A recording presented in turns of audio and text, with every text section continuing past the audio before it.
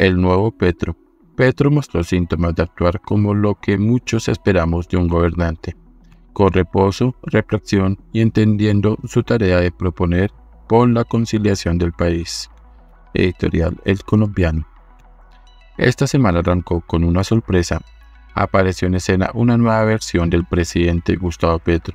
Por primera vez en mucho tiempo no vimos a Petro dedicado a cazar peleas en la red social X y publicar los mensajes destemplados. Por el contrario, Petro mostró síntomas de actuar como lo que muchos esperamos de un gobernante, con reposo, reflexión y entendiendo su tarea de proponer por la conciliación en el país. El martes se reunió con grandes empresarios del país, a los que hace unas semanas calificaba de esclavistas, oligarcas y explotadores. Ahora no solo los invitó a la casa de huéspedes de Cartagena, sino que les llegó a tiempo, o casi a tiempo. Si bien no está claro qué futuro tiene esa nueva relación, ha sido clave el gesto y el positivo giro en el trato. Al día siguiente, miércoles, Petro sorprendió con su asistencia al Congreso de Infraestructura, un evento que convoca a los constructores de grandes obras públicas y que en esta ocasión tuvo cerca de 4.000 participantes. El presidente dio un discurso sin agravios y un parte de tranquilidad porque dijo, no piensa acabar con las ANI ni con envías. El gesto contrasta con la que fue su actitud frente a anteriores congresos de gremios como el de la ANDI, a los que Petro les hizo sendos desplantes. Para ese mismo día invitó a tomarse un tinto a la oposición representada por el expresidente Álvaro Uribe para hablar de la reforma a la salud. Si bien la reunión no llevó a un resultado concreto, las diferencias siguen siendo insalvables según un vocero del CD. También es cierto que el gesto del diálogo y el registro mediático del mismo le suman puntos a Petro en su intención de mostrarse como un mandatario que dialoga. Ese mismo miércoles sacó a su comisionado de paz, Danilo Rueda, a quien ya parecía que no iba a sacar nunca a pesar de sus múltiples errores y de lo dañina que está resultando para el país la forma como se está adelantando la paz total. Ese fue un guiño para un sector de centro e incluso de izquierda que se estaba apartando de Petro por sus pifias con la paz. Y es que Gustavo Petro cada día se está viendo más solitario en la casa de Nariño. Cada día parecía encajar más en la imagen de un llanero solitario, que en lugar de caballo tiene una cuenta en las redes sociales sobre la cual cabalga su libre albedrío para lanzar ataques a diestra y siniestra. De suerte que aparece rodeado de un sector del establecimiento en el cual el país más bien confía, le permite enviar un mensaje de certidumbre en vez de ver el vaso medio lleno, también podríamos verlo medio vacío.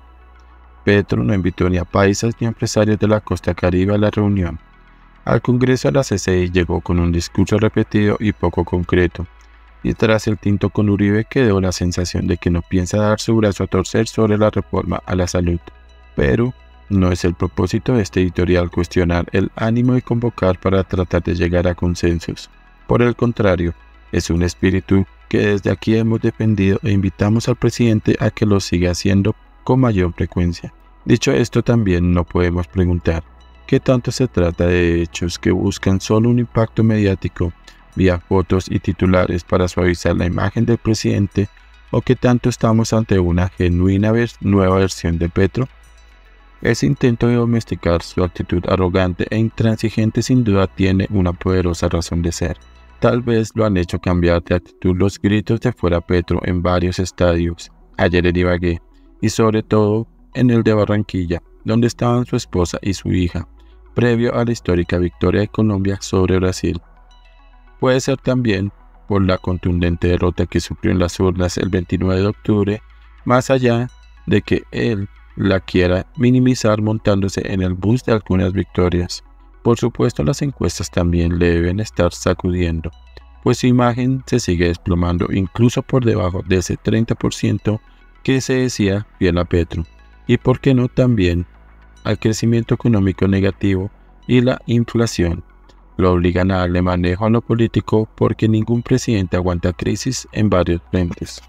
Habrá entonces que ver cuánto dura y qué tan profundo es el giro que quiere dar.